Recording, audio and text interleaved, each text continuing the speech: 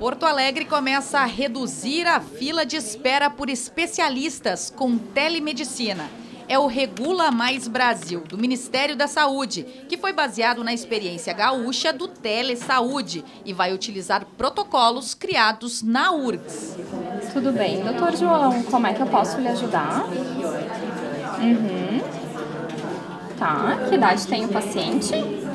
No Regula Mais Brasil, o responsável pelo corpo médico de especialistas é o Hospital Sírio-Libanês de São Paulo.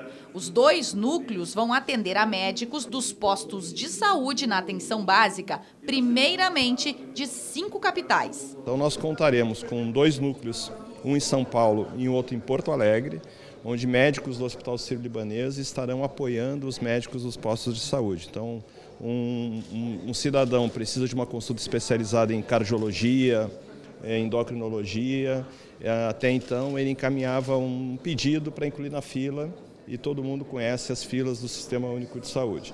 Agora ele vai teleregular com um médico do Hospital Sírio-Libanês, onde ele vai encaminhar de acordo com um protocolo. Se esse protocolo não estiver completo, ele vai discutir o caso com o nosso médico e a discussão desse caso pode reverter, inclusive, no, na solução do problema já no posto de saúde, sem a necessidade da espera da consulta. O objetivo inicial é atacar a demanda represada. Em 15 dias de funcionamento do Regula Mais Brasil, agora em janeiro, 4.500 das quase 80 mil consultas na fila de agendamento em Porto Alegre foram avaliadas. O especialista por telefone orienta o médico sobre as condutas que ele deve fazer, os exames que ele deve solicitar, quais medicamentos ele pode prescrever.